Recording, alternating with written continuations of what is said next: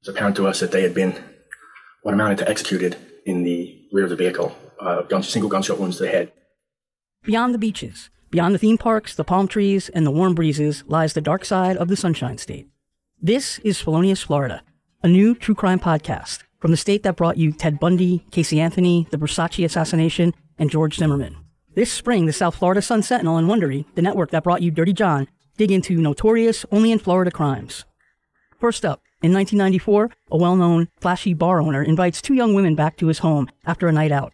All three end up dead, beaten on the dining room floor and shot in the back of their heads. It seems like an open and shut case, including a remarkable surveillance video that captured the entire murder.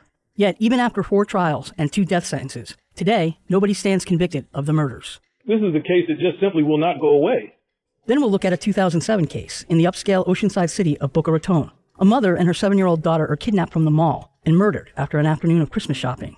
As police investigate, they confront a chilling realization. The man who did this has probably struck before, at the same mall, that same year.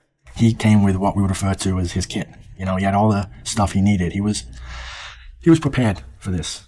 Who is this child killer, and is he still out there?